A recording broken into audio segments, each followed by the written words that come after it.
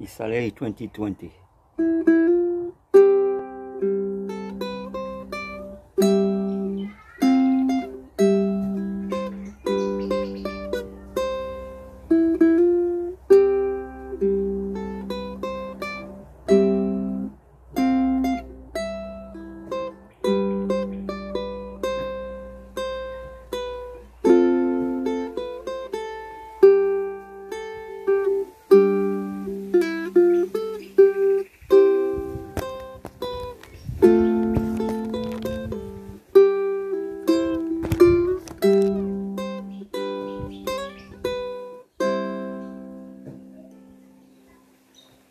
Isalei 2020.